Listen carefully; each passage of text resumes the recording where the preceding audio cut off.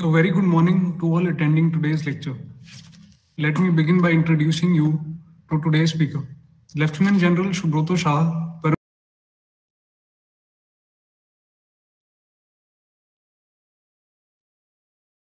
Army in 2018.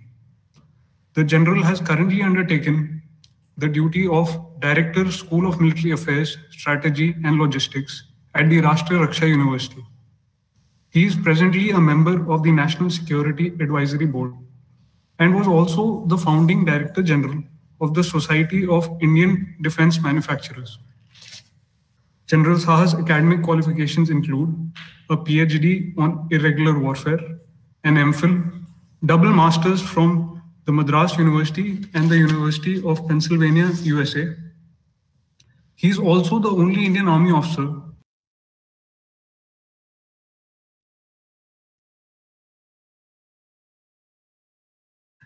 The last lecture that you all were part of concluded the three-part series of expert lectures on J&K. Today's lecture is going to be an introductory lecture on Punjab and terrorism in Punjab. We are going to cover the aspects of the Sikh nationalist movement of the 1980s. So part one will basically cover the topography, early history, up to the up to Operation Black Thunder. With this being an intro, I hand over the stage to General Saha. All yours, sir. Thank you, uh, Gaurav. A very good morning uh, to all of you, and uh, wish you a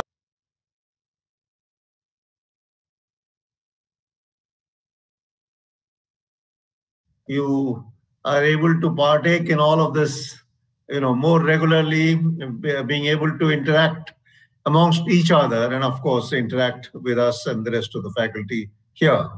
So a very nice uh, start to the year as far as I'm concerned and hoping that things get better. So today I have uh, chosen to speak to you all on uh, the terrorism in Punjab, which I think is uh, a rather sad, you know, part of our uh, country's uh, history.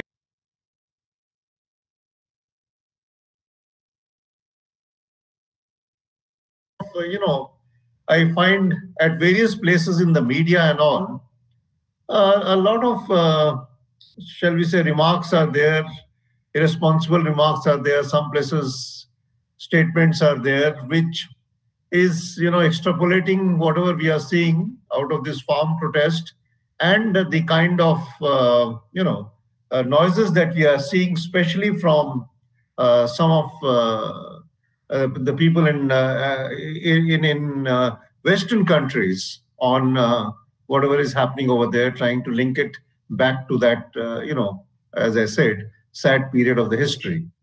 So I thought let me just cover this in a two-part series. It's not a very long series today, and in all probability on next Wednesday again, we will finish off with Punjab so that you know what was the background uh, of all that.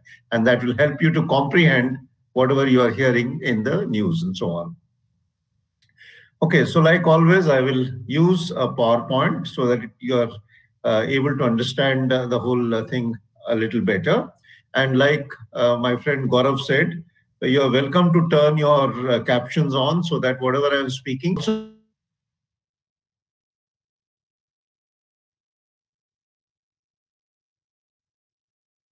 you're able to see it, uh, the, the, whatever I'm speaking, in front of you as well. So, you know, uh, Punjab, as we all know, is one of the most developed and economically progressive states of India. Uh, Sikhs are known for their contribution to public service, particularly in the armed forces.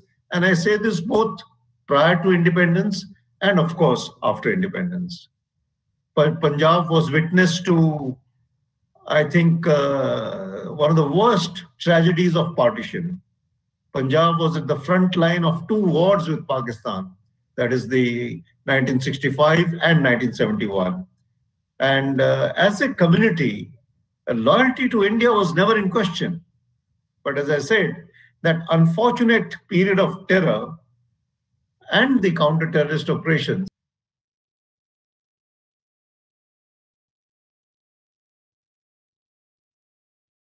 the same mistakes elsewhere. And most importantly, I think it is a lesson, it is instructive on how the domestic politics, मतलब एक राज्य की जो अंदरूनी politics है, how that is manipulated by a hostile country to threaten your national integrity. First, the domestic politics of India was manipulated by neighboring Pakistan to threaten the national integrity, India's integrity.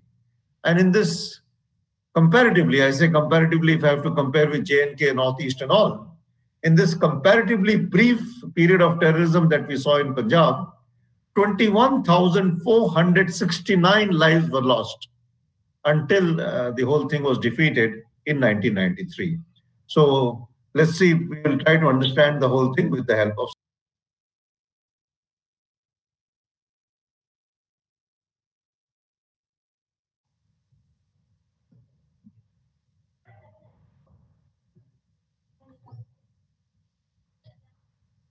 If you see the slide in front of you, this is a map of Punjab.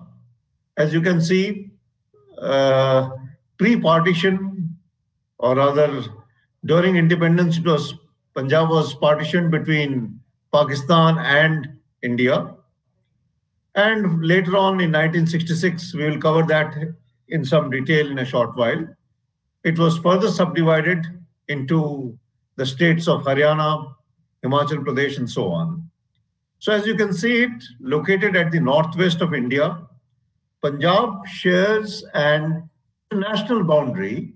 Punjab shares an international boundary with Pakistan running like this, a distance of 533 kilometers. a distance of 533 kilometers is this international boundary. And the total geographic area of Punjab, as we see it here, measures approximately 50,362 square kilometers.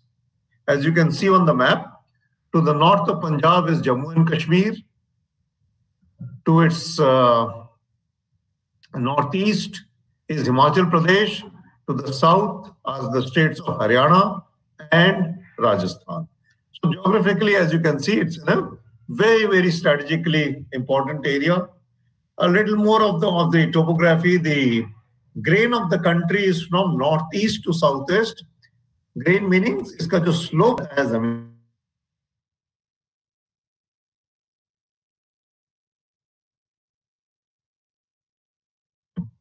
And by and large it is about uh, 500 meters above the mean sea level uh, on an average uh, as you can see. Some places it is as low as 180 but that's how approximately uh, it is.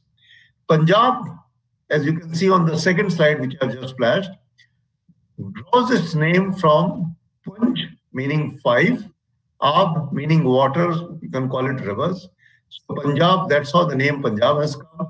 And the five rivers you can see on map are the rivers of Jhelum, Chenab, Ravi, Beas, and Satluj River. So these are the five rivers which give it the name. Okay. Now, if you go, because of the way the flow of the rivers is, parts of the Punjab state also is sort of, you know, topographically or physically kind of divided. Like you can see here, the area between Beas and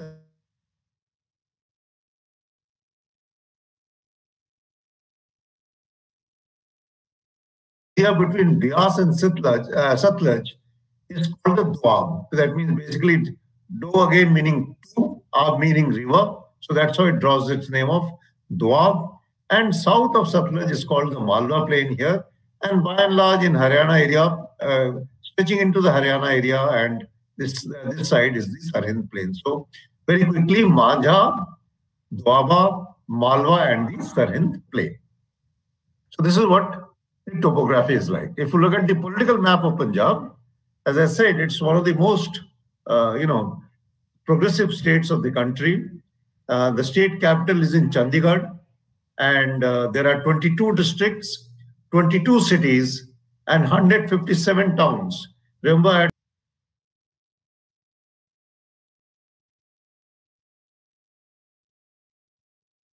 small area. You have 22 districts, 22 cities, and 157 towns.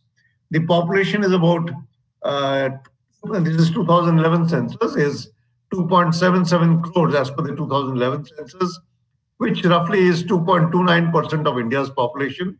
And the Sikh population is about 1.6 crores. Uh, so that is uh, how uh, the, the, the Punjab current uh, uh, political, you know, map and its Uh, distribution looks like. If you go back into the early history, uh, during the era of Mahabharat, that is 800 to 400 BC, Punjab was recognized as Trigarta. It's called Trigarta, ruled by the Katoch. The Indus Valley civilization, as you can see on your map over here, running like this, the Indus Valley civilization covered most of Punjab and it included the very well-known city of Harappa.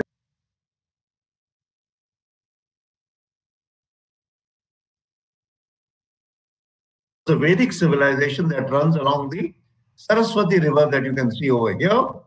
And most it covered a, a, a lot, the, the, the, Vedic civilization covered a lot of North India and also included Punjab. The Punjab region, because of multiple factors which you must have understood by now, was persistently invaded or influenced from both the east and the west. So if you see the invasion and influence of the west,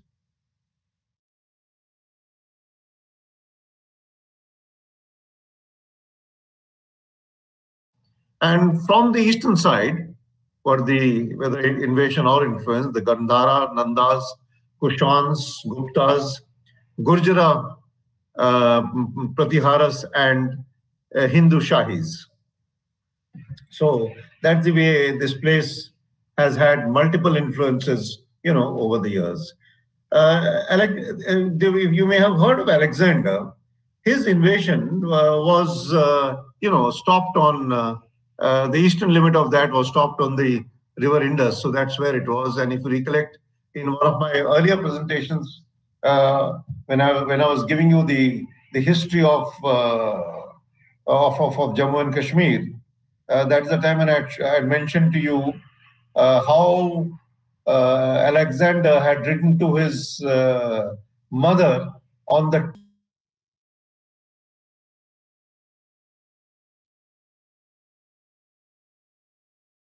uh, thing was stopped. And the Greeks described Punjab, Punjab as Pentapotamia. Pentapotamia meaning an inland delta which is formed by the convergence of five rivers. And if you go by the Zoroastrian text, Punjab is related with the prehistoric Sapt Sindhu, meaning land of seven rivers. So historically, there is a uh, association of rivers by virtue of its geography in the nomenclature that it's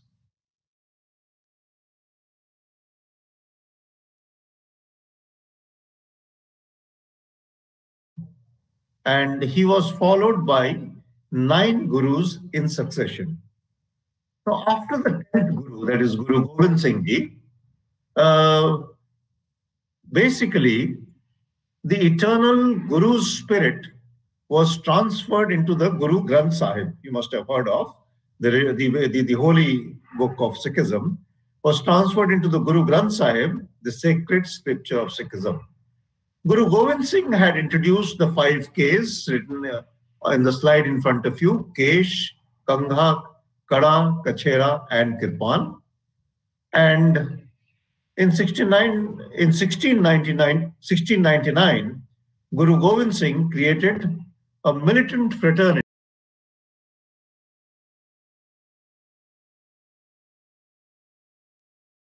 he introduced Panj Pyare, which is again written on the slide in front of you, meaning the trusted five or the beloved five in Anandpur Sahib to motivate the Sikhs to face the Muslim invasion.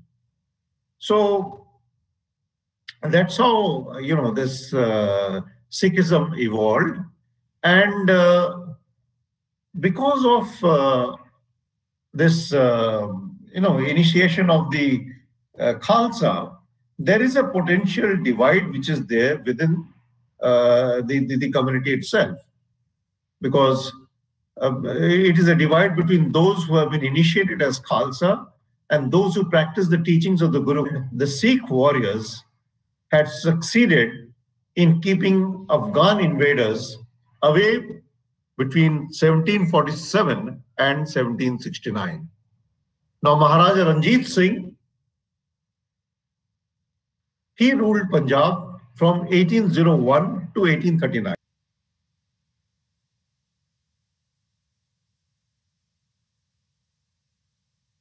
Nine. This map is taken from Google. So here we are. Maharaja Ranjit Singh ruled from the center at Lahore. Now, the domain of uh, the Sikh Empire extended from the Khyber Pass here, as you can see on the slide, in the west, and it spread all the way up to the river Satluj in the east. So Satluj in the east and Khyber Pass in the west. And uh, to the north, it was from Kashmir and coming down to the Thar Desert in the south.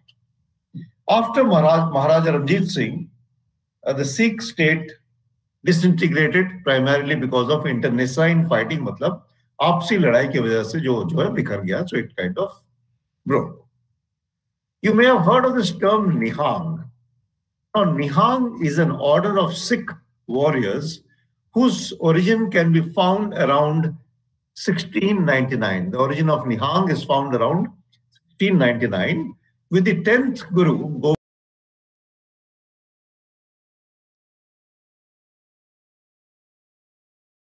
Mentioned in a hymn, referred as a fearless and unrestrained person, as a fearless and unrestrained person. A few studies trace the source to the younger son of Guru Gobind Singh, uh, who was called Fateh Singh, who's believed to have turned up once in Guru Gobind Singh Ji's presence, attired, dressed, that means, in a blue chola and a blue turban with a dumela, a piece of cloth forming a plume. Observing uh, Fateh Singh's magnificent performance, uh, uh, sorry, appearance, the Guru uh,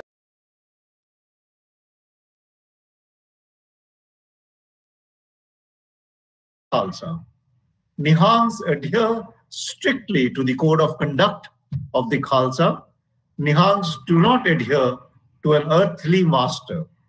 Instead of saffron, they host a blue nishan. As you can see, instead of the saffron, they host a blue nishan uh, on top of their shrines.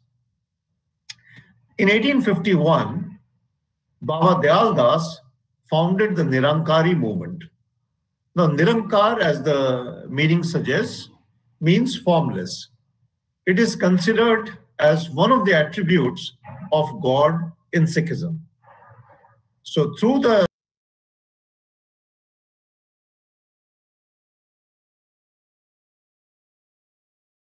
were prevalent in the times of Guru Nanak.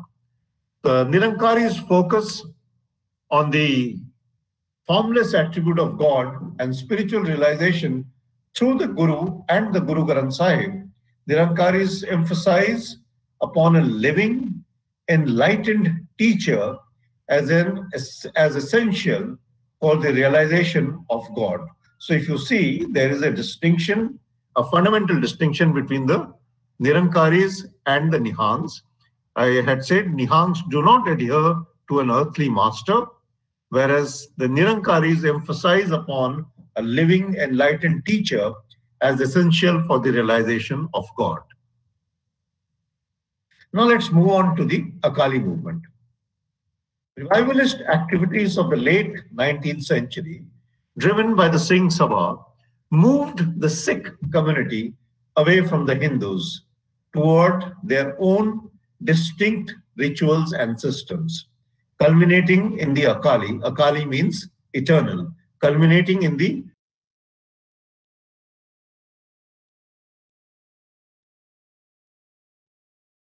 in uh, the Sikh Gurdwaras Act of 1925 as you can see mentioned on your slide over here, and also the establishment of a central Gurudwara management committee for administering all Gurudwaras in the province through Sikhs who are nominated by elections.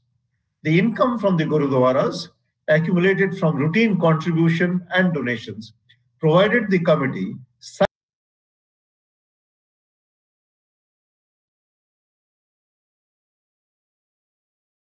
body uh, was also you know established in the Akali Dal, the, the same political party that we see even now, uh, or meaning Eternal Party, which over a period of time, because of uh, the, the, the, the support from the religious component and the sizable budgets, the Akali Dal gained strength and it started manifesting by coordinating a non-violent agitation for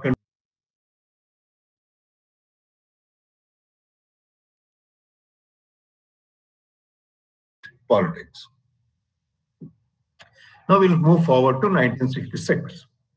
Post independence and partition, political parties in Punjab tried to, you know, continue with the same sort of divisive kind of politics, highlighting divisions based on communal identity.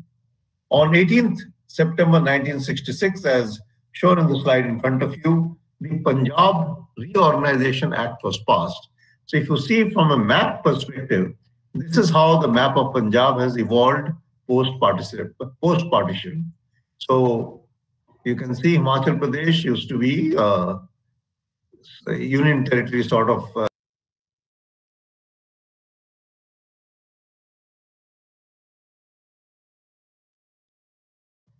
uh, sorry, Patiala and East Punjab uh, State Union which merged eventually into Punjab. In 1966, once this reorganization was done, uh, the uh, the state of Haryana was formed, and later on, the Himachal Pradesh uh, moved on from an union territory to become a state itself. So this trifurcation that you see was actually the outcome of the Punjabi Suba movement. So effectively, the government created Punjab with a majority Sikh population and Haryana and Himachal Pradesh with a majority Hindu.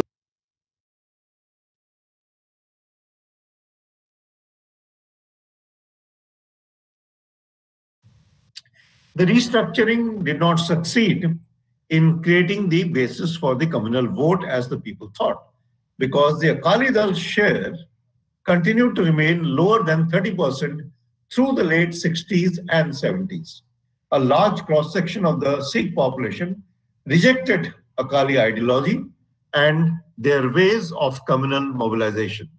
The Akali Dal could at best form unstable coalition governments in Punjab. Even secular parties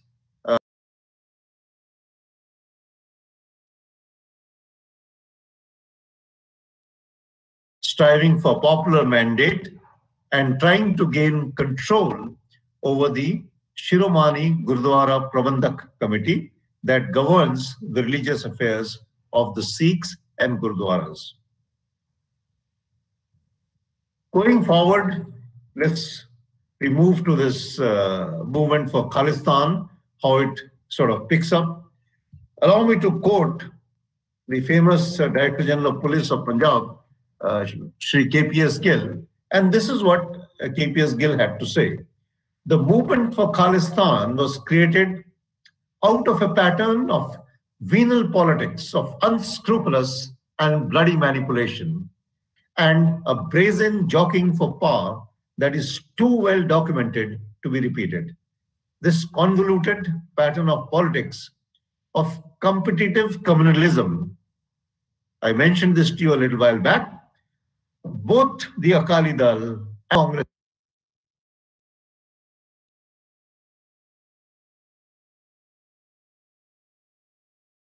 produced the larger than life image of Mr. Jarnail Singh Bhindranwale.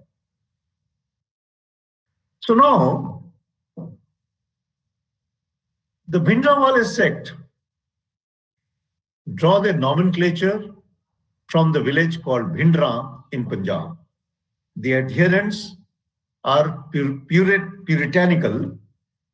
They do not consume meat, intoxicants, or even tea. The Bhindrawale sect as such was barely known till the 1970s. It's only in the mid 70s they started rising significantly in public view since they denounced the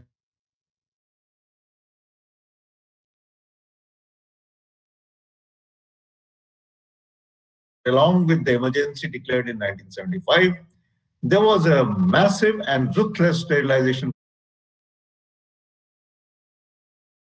Along with the emergency declared in 1975, there was a massive and ruthless sterilization program which was undertaken by Sri Sanjay Gandhi.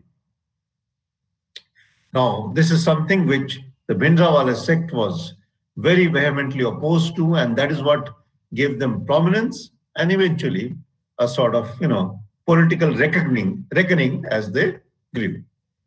Now, later on, uh, the sect confronted the Nirankaris for misrepresenting Sikh teachings. They described the Nirankaris' easy way of life as immoral. And the most prominent clash between the Bhindrawale sect and Nirankaris happened on 13th April 1978 on the day of Vaisakhi, which is otherwise commemorated as the founding day of the Khalsa. In 1978, the Nirankari sect decided to hold their annual convention event on the Vaisakhi day in Amritsar.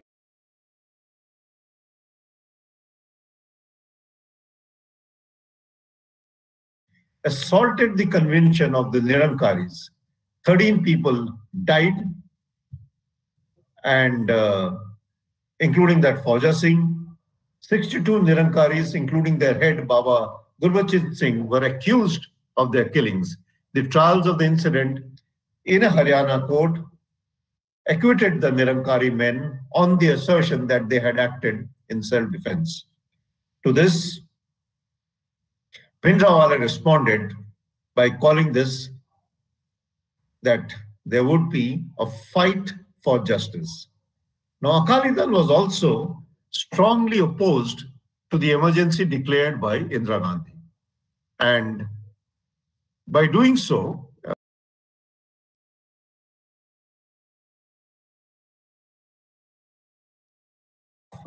uh, the emergency was opposed by Bhindrawale's sect and politically it was being opposed by the Akali. So because of which some Akali leaders were also arrested during the emergency. And when the Akalis returned to power in 1980 in coalition with Jan Sangh, they came down hard on the Congress. As a counter, uh, let me just re repeat the last bit once again. So when the Akalis returned to power in Punjab in 1980 in coalition with the Jan Sangh, which was also opposed to the emergency, they decided to come down heavily on the Congress. Now, in order to counter this coalition of Jan Sangh and the Akali Dal, the Congress started now propping up Bhindrawale in the elections for the Shiromani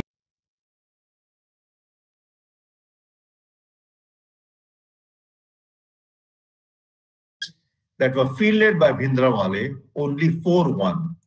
During the general elections of 1980, Bhindrawale had also actively campaigned for the Congress. On 24th April 1980, Baba Gurbachan Singh, whose picture you can see on the slide, the head of the Nirankari sect was killed in Delhi. The FIR included names of many well-known associates of Bhindrawale, but no action was taken against them by the Congress government in the center. On 9 September 1981, Lala Jagat Narayan, you can see his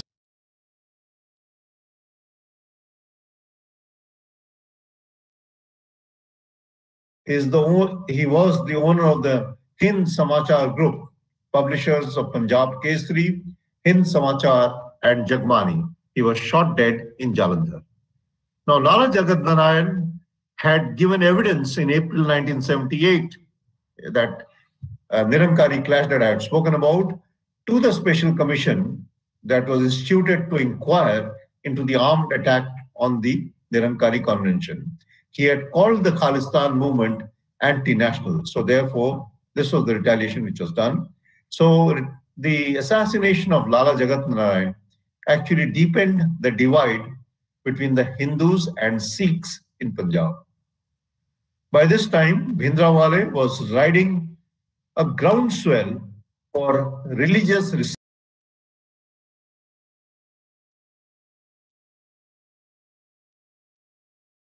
that they were potentially getting outnumbered in Punjab. And that was the outcome of a trend which was resulting from the migration of Sikhs from India abroad and the inbound migration that was happening of labor from other states into Punjab. So there was this perception that the Sikhs would soon get outnumbered in their own state in Punjab. By 1981, Bhindranwale had significant following. He traveled extensively across India, participating in kirtans.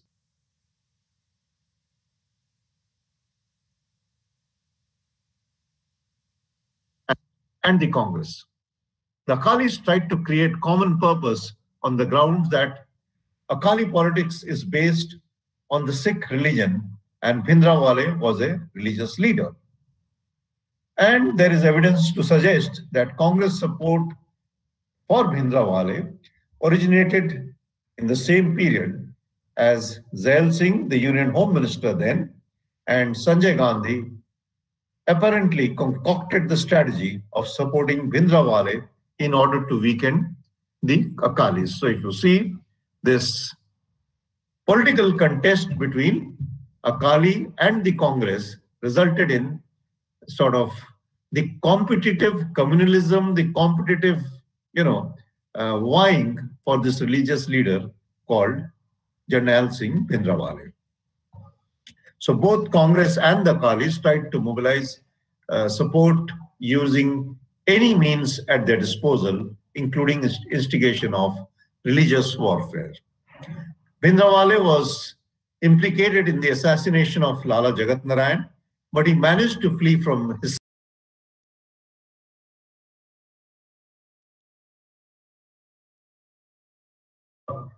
Gurdarshan Prakash at Mehta Chowk, which is about 40 kilometers from Amritsar.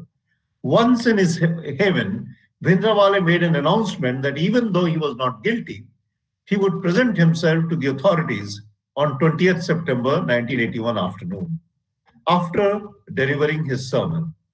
So, as you can see, the time and place that he had chosen was done very carefully. 20th September was a Sunday, so it was very easy to collect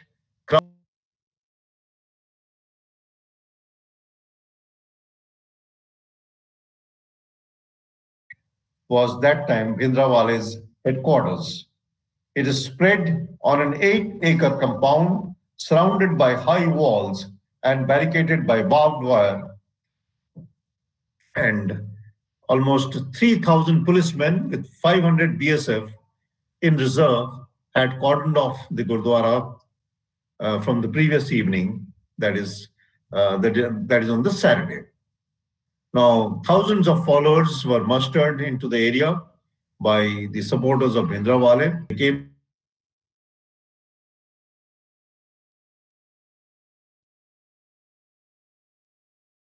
to demonstrate moral support for Bhindranwale. The Akali Dal Longowal head, Harchand Singh, Harchand Singh Longowal, head priest of the Golden Temple, G.S. Ajnoha, president of the SGPC, uh, G.S. Tohra, president of Delhi Gurdwara Prabandhak Committee, Santokh Singh, and members of Kali Dal Talwandi, all of them were there to come and see him, express solidarity because he had he had planned to you know, offer himself to the police. So after his sermon in the afternoon, at about 2.30 p.m., Bhindranwale drove to the police camp, which was located about a little more than a kilometer away from the uh, from the Gurdwara.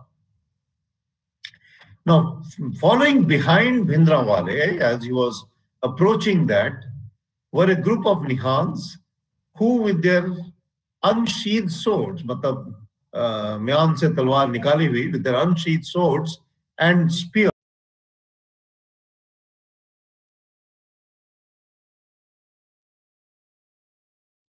a fire tender were burnt. Initially, the police had no orders to fire. They responded with the mounted police, lathis, and so on. After about an hour, the orders were issued uh, to the police to fire, and in that firing, 12 civilians were killed and 12, 12 policemen were wounded. On the same day on which Bhindranwale was arrested, three terrorists on motorcycles fired indiscriminately in a Jalandhar market.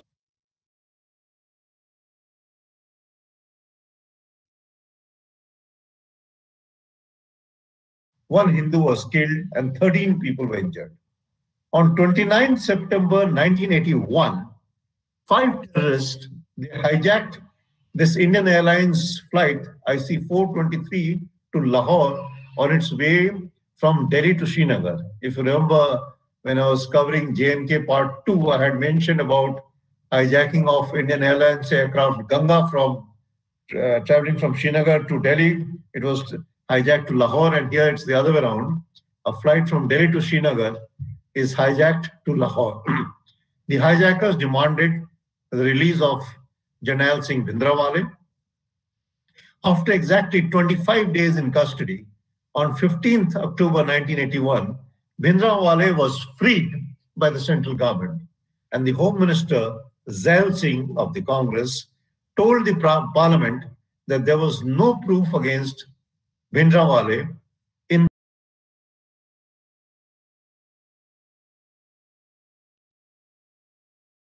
Bachan Singh, the Nirankari chief, and Lala Jagat Narayan, stating that the killers merited honor and awards worth their weight in gold. So now, if you see, Uh, if you just pause and see,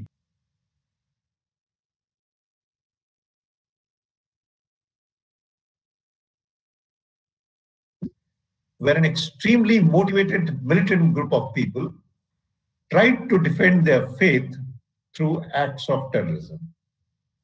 So it's a small, motivated group, militant group, that was trying to defend the faith by acts of terrorism. It was a militant community, as we know, that made instant martyrs of their religious leaders and with an intense history of religious conflict in and reform, both in sectarian and in pursuit of political power. So demand for an independent Sikh state were, getting voiced on numerous instances, but this time it was with strong secession.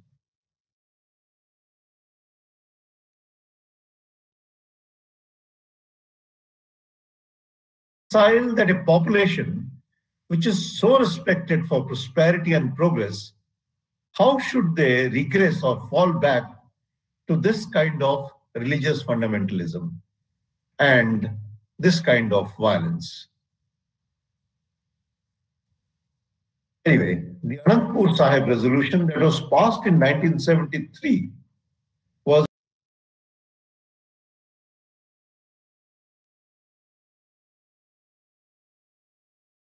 Akali Conference on 28 29th October 1978. If you see the resolution, the key points are flashed in front of you.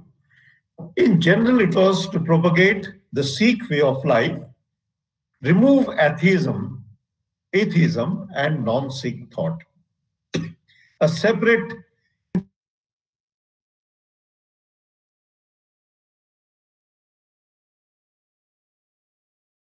be full and satisfactory, eliminating untouchability, social inequities, and illiteracy, all the you know ills that were otherwise affecting the broader in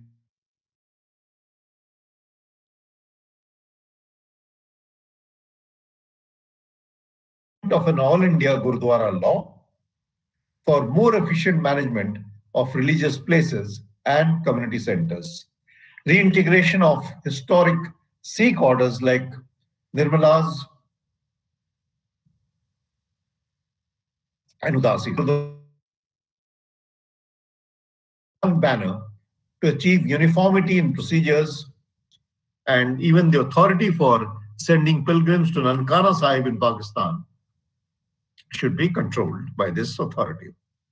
Politically, uh, political constitution for preeminence of the Khalsa was demanded and Punjab should include, it demanded, the areas of Ambala,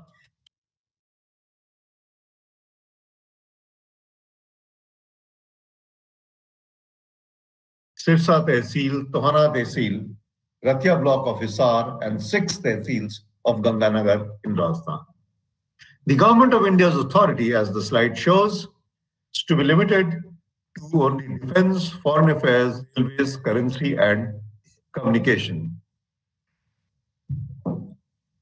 Other subjects that were there, uh, which you know spoke about Punjab's contribution to the government of India's finance, and that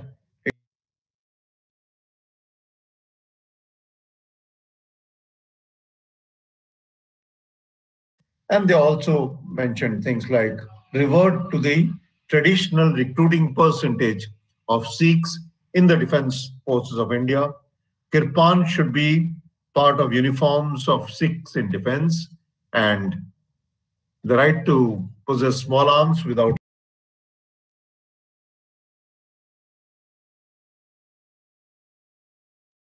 for Khalistan as such was not part of the Anandpur Sahib resolution, as many seem to suggest.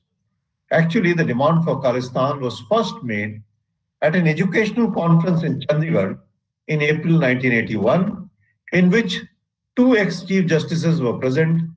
I couldn't find the picture of Narula, one was Mr. Narula and other was ex-Chief Justice Harbans Singh. One former Attorney General, Sarhadi, and a couple of uh, leading bankers, educationists who all in attendance. Uh, within a month, Akali Dal Talwandi reiterated the same demand which was made in this education conference in Chandigarh in Anandpur Sahib with a supplementary demand for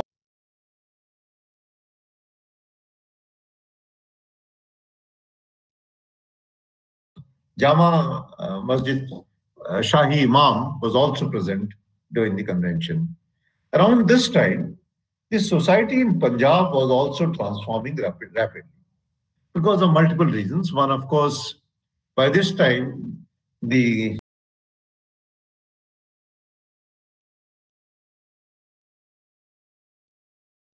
because of this increased wealth from farming, people were able to donate much more to the Gurdwara. Because of this increased donation to the Gurdwara, there was an increase in the wealth of Shiromani Gurdwara Prabandhak Committee. So on the one hand was this, you know, sort of uh, financial empowerment of the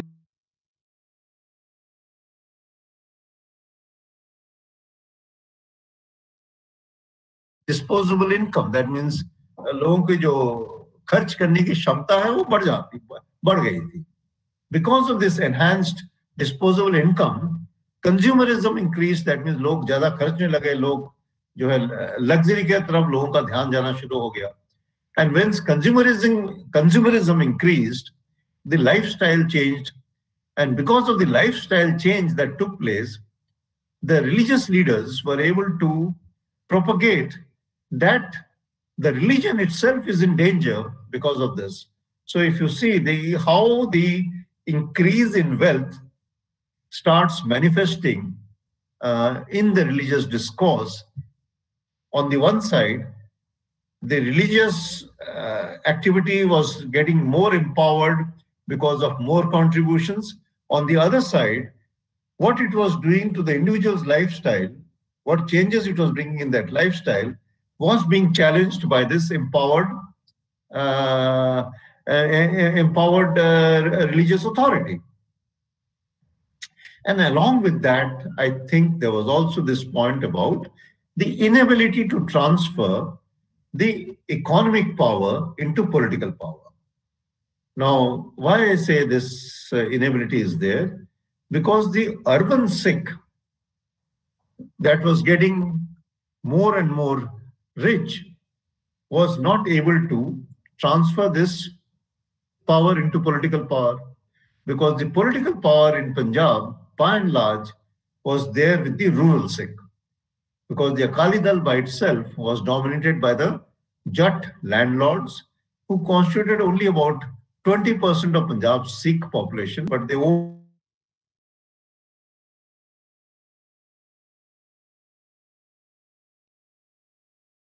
the Jat landlord.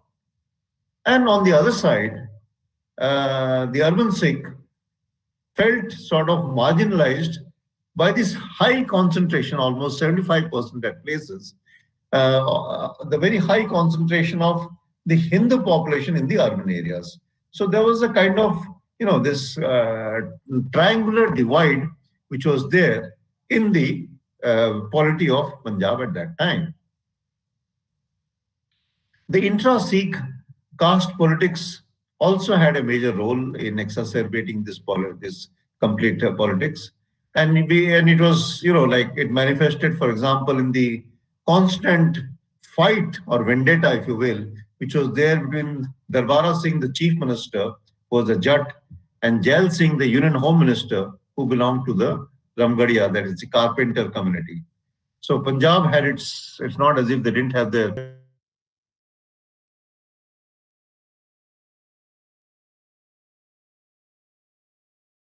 regarding the future of Chandigarh. So basis on the one side were these political divisions, increased wealth. On the other side were the Akalis who were trying to cash on these grievances and launch their own Dharm And initially that Dharm did pick up, you know, uh, some pace, some 80,000 Sikhs had quoted arrest. Between 1982 to 1984, uh, a series of negotiations took place between the Indira Gandhi and Akalis, but they all failed because of the deep divisions which was there in the Akali leadership between Badal, Longowal, Tohra, and so on. And uh, on the one side, of course, the negotiations were not succeeding. On the other side, because of the division amongst themselves, uh, their hold also started to weaken. And as their hold started to weaken, so in the broader context, if you see, the hold of the moderate Sikh leaders started to become weak. Because the hold of the moderate Sikh leaders started to become weak, so the militant Sikh leaders like Jarnail Singh Bhindranwale and others, they started to fill in that vacuum, saying that militancy is the only way to protect the Sikh interest because political dialogue is not taking us anywhere. So therefore, Bhindranwale became the go-to leader for all Sikh aspirations, leading to demand for greater autonomy for Sikhs.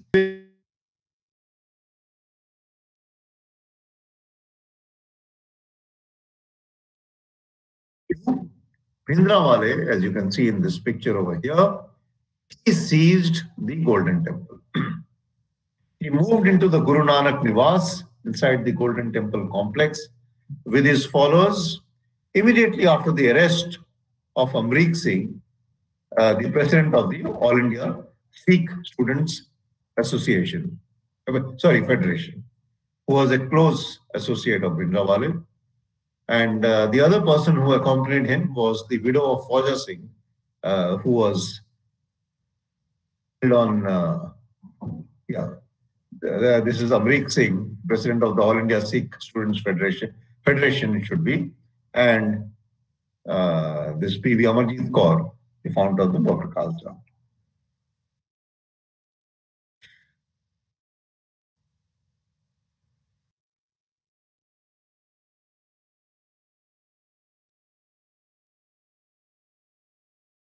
actually being controlled from the Golden Temple. Now, there was some uh, major incident during this period, including an attempt on the life of uh, the Chief Minister of Punjab, Darbara Singh. Uh, there were some grenade attacks on a procession during Ram Navami. There were attacks, several of them, on police stations, government offices, and residences. On 25th April 1983, the DIG of uh, DIG of Punjab Police, Avtar Singh Atwal, was killed at the main entrance of the Golden Temple. So if you go back to the previous slide, in 1982,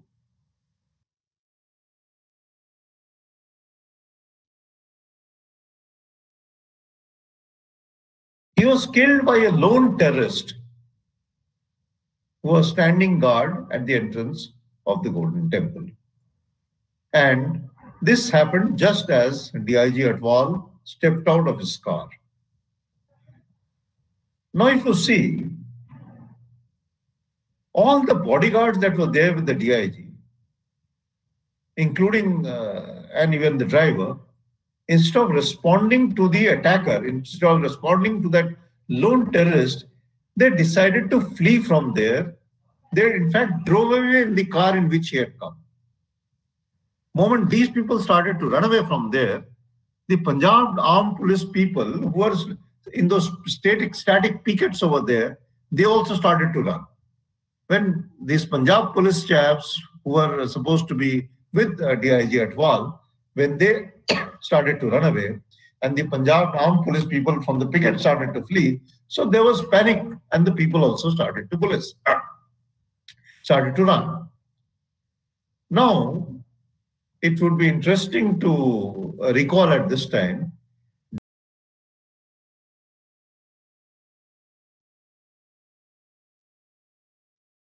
the Mehta area when Bhindranwale had uh, arrest, uh, was arrested in 1981.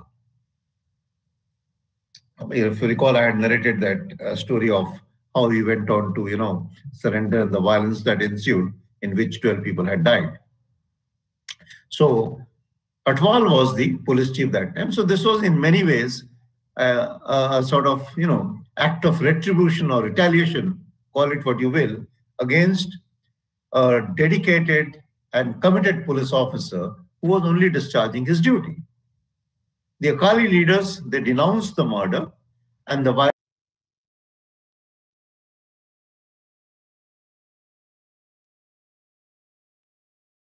government to malign the Sikhs.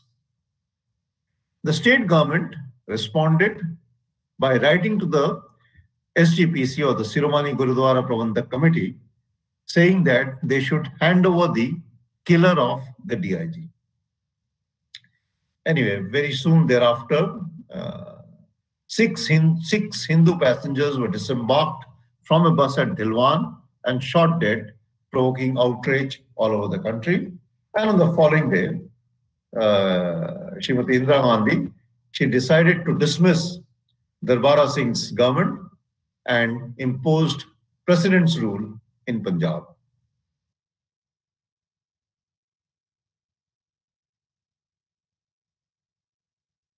Temple. And thereafter, it was almost a regular feature to find somebody tortured, dis dismembered, hacked, packed in gunny bags, appearing in the gutters around the Golden Temple. So a process of retribution had been set into place by this so-called political and military headquarters of Bhindranwale. So now the important personalities that took charge over there. There's one Dr. Jagjit Singh Chauhan, self-styled chairman of the National Council of Khalistan, and Balbir Singh Sandhu, the self-styled Secretary General of the National Council of Khalistan. They were both operating from the Guru Nanak Niwas in the Golden Temple premise. The two organized the Golden Temple into a fortified complex. Not only that, they started a Golden Temple radio. Sandhu had even worked out the salient features of Khalistan's constitution. According to him, which he had given out in an interview to some media people, The proposed Republic of Khalistan would have a presidential form of government. Sikhism would be the state religion. The principles of Guru Granth Sahib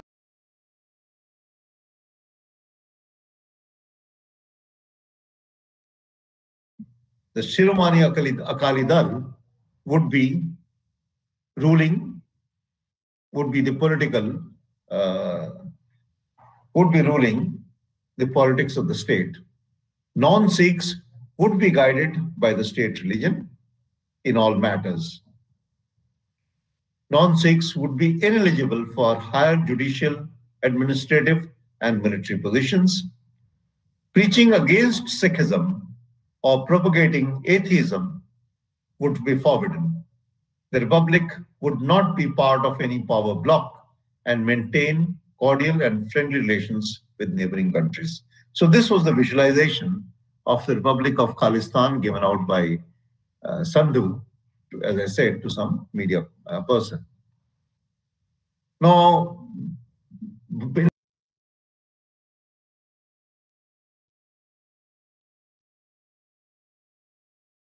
some confrontation with the Babbar Khalsa. And there was one Major General Shabeg Singh, retired.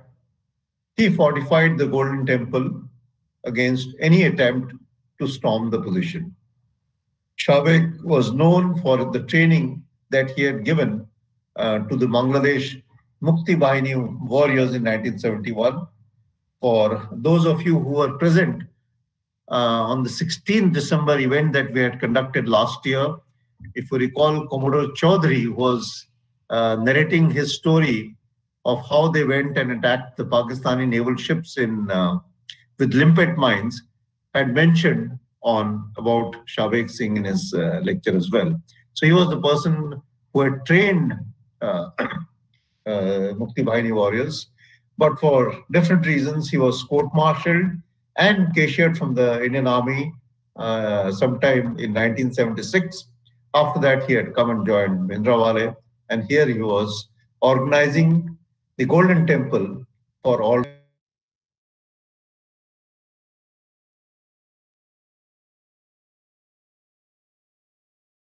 From uh, multiple directions. He had sited snipers in very carefully chosen positions so that they could cover the entrance and the open parikrama which is there around the, uh, uh, uh, around the temple uh, they, they, were all covered by snipers and windows were blocked with bricks so that no grenades could be lobbed inside and trucks meant for car seva at the langar were used to bring in weapons and ammunition into the golden temple Around April 1984, a heliborne raid codenamed Operation Sundown was planned to evict Bhindranwale and the terrorists from the Golden Temple. It was planned to be executed past midnight to achieve surprise. Some of the commandos had wrecked the Golden Temple posing as pilgrims and journalists. They were planned to slither down from two helicopters and rush for capturing Bhindranwale. The raiding team would was then supposed to extricate with the help of a ground assault team that was close into the complex, into the complex in vehicles. The contingency of a firefight with bodyguards and others defending Bhindranwale was envisaged. The operation was finally aborted because of fear of civilian casualties by Prime Minister Indira Gandhi. On 11th May 1984, a final settlement was offered by Narasimha Rao to Akali Dal on behalf of Mrs. Gandhi. But Bhindranwale, he, rebuffed, he rebuffed it. And finally, on 2nd June, the negotiations failed. So on 3rd June 1984, Prime Minister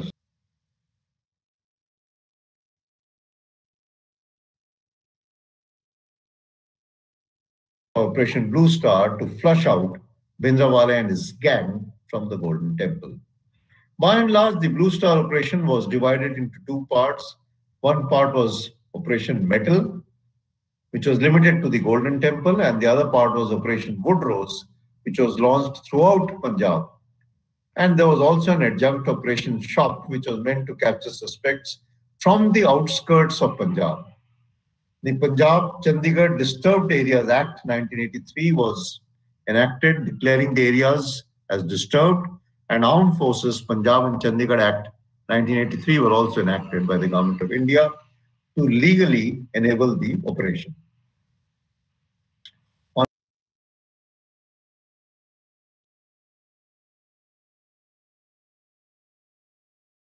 entered the Golden Temple. They were equipped with night vision goggles, steel helmets, bulletproof vest, MP5 submachine guns, and AK-47 rifles.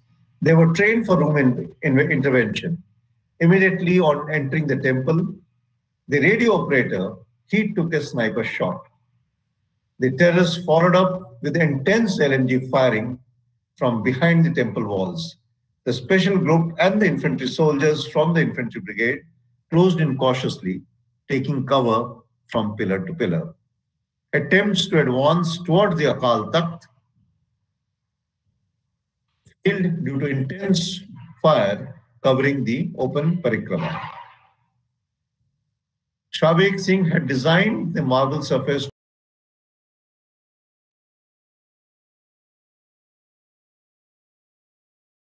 put close into the Akal Takht. Uh, now, Major General Brar, the general officer commanding the operation, recounting the events later stated that Shabeg had made it almost impossible for us to enter the Akal Takht. We suffered a lot of casualties. An armored personnel carrier was employed to move in, but that too was halted by a rocket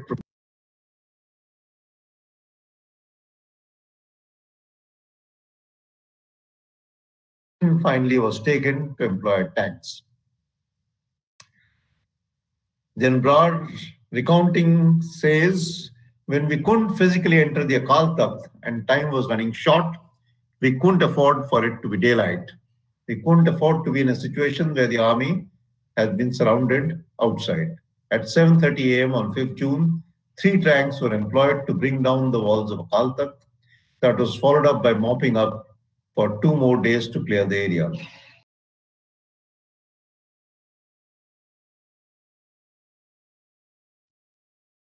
Dead bodies of Jarnail Singh Bhindranwale and 35 other terrorists, including Shabeg Singh and Amrik Singh, the president of All India Sikh Students Federation, were uh, recovered. The number of deaths reported were 83 and from the army and 492 civilians. Although Blue Star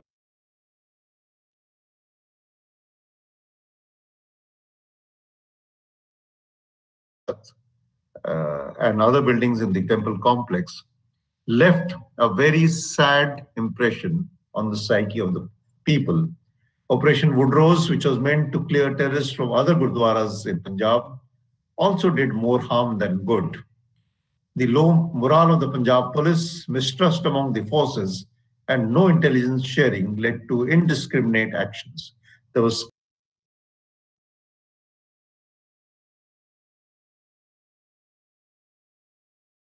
there were deported uh, outside of Punjab and you know brought to the Haryana border.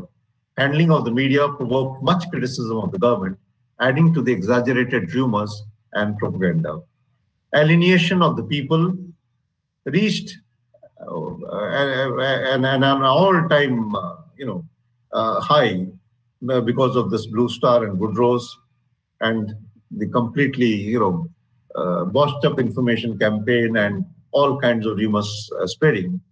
So the result of this was a whole lot of youngsters, the youth from Punjab, determined to take revenge, fled across the international border into Pakistan. And on the other side, it was the ISI that was waiting with open arms to receive this youth, train them, and send them back into India if you recollect from uh, when I had covered the, the, the, the, history and the unfolding of events in J&K, uh, in 1979, when the Soviet Union had entered Afghanistan and around 75 when Pakistan had started that low-level Islam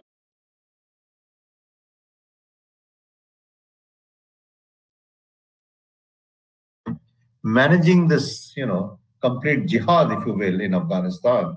So there was a steady flow of weapons, there was a steady flow of ammunition and everything else, and, and finances to support this movement. So for Pakistan, it was a golden opportunity when the youth from the most progressive state, you know, just kind of landed in their lap, waiting to come back and take revenge against the government of India. So that was, I think, the lowest point in the unfolding.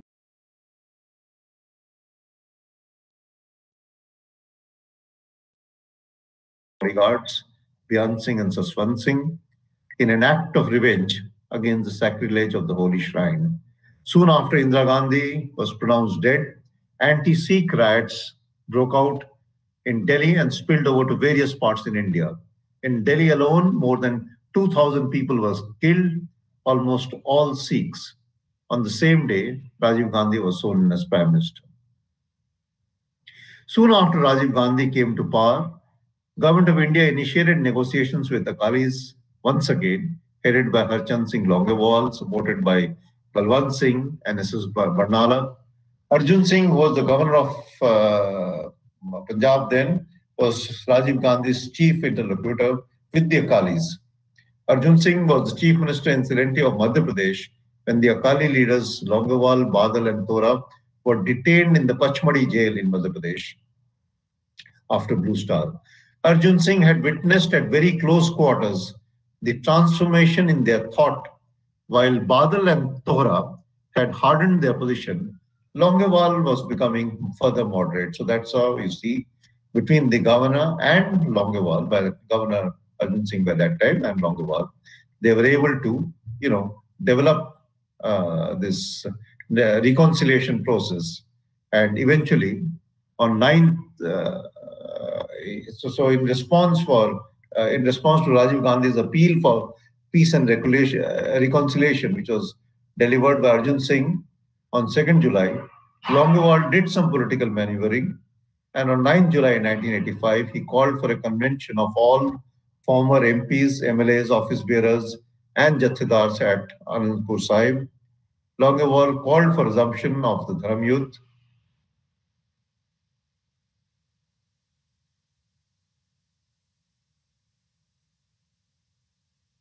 Rajasthan, Uttar Pradesh, he made it apparent that on the one side he was trying to consolidate political power in Punjab, on the other side he was contem contemplating a resolution within the constitution's framework.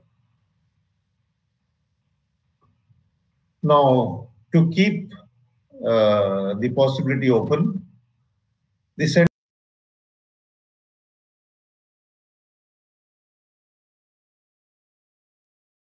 extended. As requested by the Akalis, the scope of the judicial inquiry set up from Delhi uh, for the Delhi anti-Sikh riots was extended to other parts of the country as well, and rehabilitation of Sikh deserters from the army was resorted to. The central government also started negotiations with the All India Sikh Students Federation and eventually on 24 July 1985, the Rajiv Longowal Accord was signed. The government agreed to most of the demands of Shiromani Akali Dal. The Akalis acceded to abandoning their agitation. Some Orthodox Sikh leaders of Punjab and Haryana were opposed to the accord, thus inhibiting the fulfillment of the promises. And sadly so, on 21st August 1985, Harchand Singh Longowal was assassinated by terrorists. After this, you know, under the shadow of all these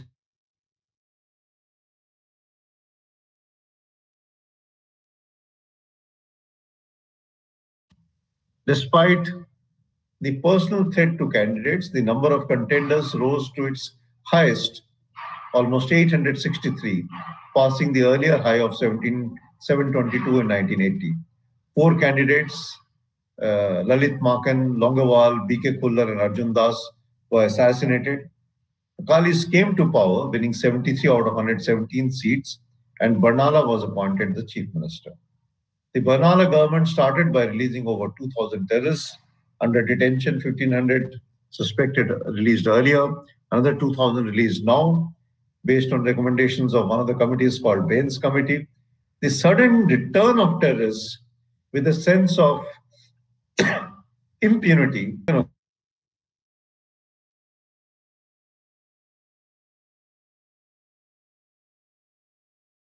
Through the year, 63 civilians and 8 police personnel were killed.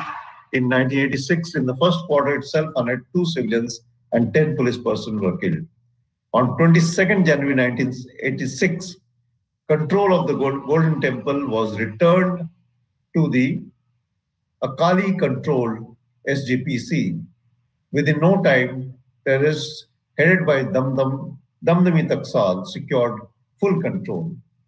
And by 29th April, that is uh, of 1986, that's about in four months' time, the Panthik Committee constituted to organize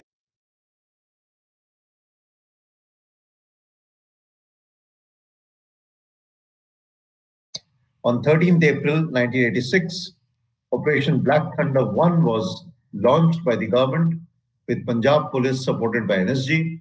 The operation turned out to be bogus uh, search because sufficient early warning appeared to have been given to the terrorists to flee from there. Barnala's decision to confront the terrorists was, however, enough reason to provoke a split in the Akali Dal, and Barnala's position became tenuous as his government's survival became contingent on Congress backing. A weak and directionless government kept losing control of the security situation and the arc of terrorism, it expanded from the border areas, that is the Gurdaspur, Amritsar and Firozpur, to come into the depth areas as well, like Jalandhar, Hoshiarpur, Faridkot and Ludhiana. In Barnala's just more than 19 months tenure, Black Thunder 2. Now, Operation Black Thunder 2, comparatively, was done on the basis of very well rehearsed, a very well planned uh, scheme of actions with lessons drawn both from Blue Star and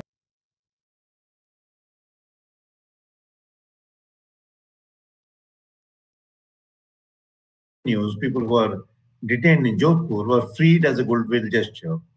They just moved into the Golden Temple and Jasbir Singh Rode was appointed as Jathedar of Akal Takht, the head priest. Inside the Golden Temple, fortifications were made once again, and outside the temple, violence touched absolutely unprecedented levels.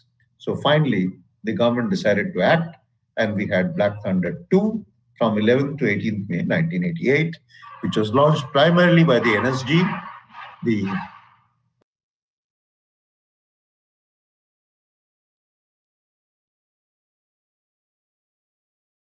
lessons learned, and the training. So NSG had planned, trained, and recceived the objective dressed in CRPF uniforms from the pickets which surround the temple complex. The videos from the Blue Star and the Black Thunder 1 were utilized in developing mock-ups and trained around uh, NSG training facilities which are there close to the national capital and all kinds of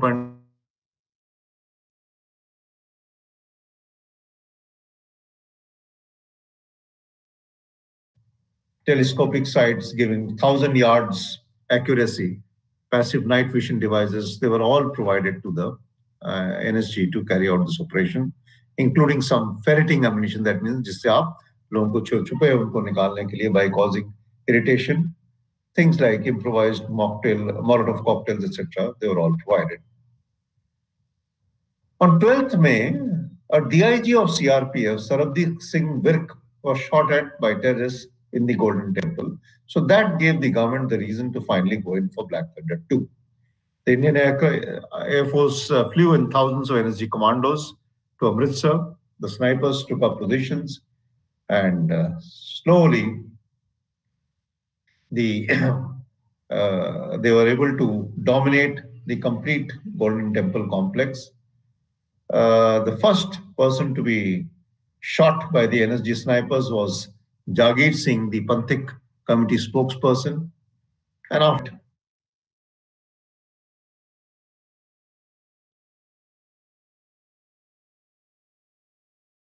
from the tires, but they were forced to take cover by accurate sniper fire against all these towers and other commandos who were firing from pickets. The Ramgarhia Bunga, which had taken a heavy toll in Blue Star, uh, needed skillful handling. It comprised of two towers through a labyrinth-based basement.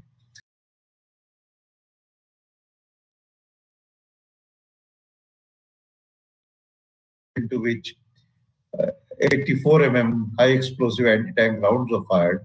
So by some very precise firing, they were able to bring down these, you know, vulnerable spots. So ultimately, uh, the holy Sikh, Baba Uttam Singh, was uh, requested to issue out appeals for surrender. Initially, the response from the terrorists who were inside was Khalistan Jindabad. By 15th May, that is three days after the operation was launched,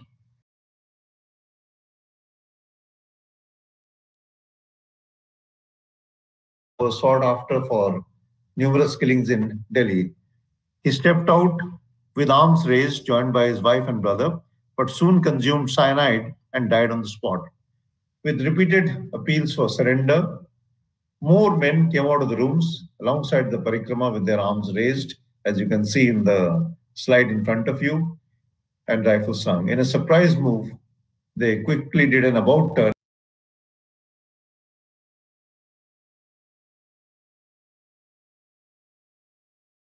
Hereafter, there were no more ceasefire, only ultimating, ultimating, ultimatum to surrender was given with timelines. Finally, on 18th May, following waving of the saffron podcast through the windows, 46 terrorists, they surrendered, two trying to flee were shot, and two died after consuming cyanide. In all, 20 terrorists were killed. So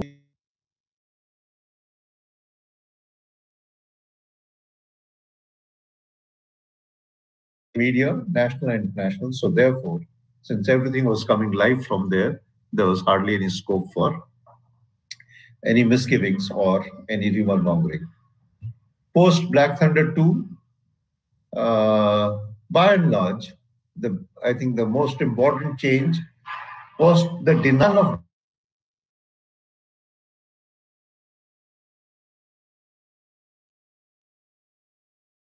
it not only deprived the terrace of the physical preserve of the Golden Temple and other Gurdwaras, the unstated religious sanctity which was being achieved by using Gurdwaras as safe havens, that finished. And uh, well, uh, despite the tremendous success of uh, Black Thunder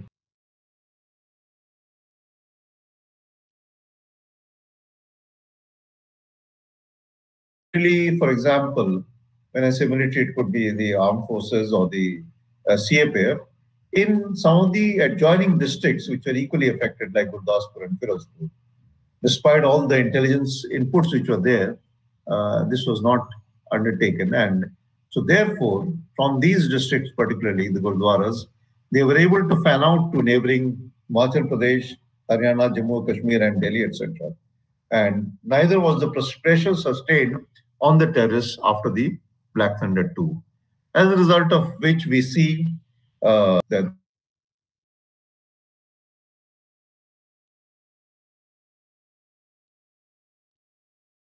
like Babbar Khalsa, Khalistan Commando Force, all you know slowly taking shape.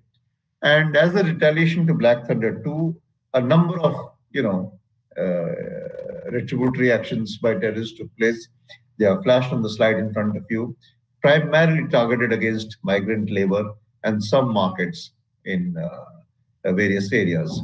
So, so that is the history that we have seen starting from the beginning, coming to the Black Thunder 2. So I will stop here now and uh, close this presentation.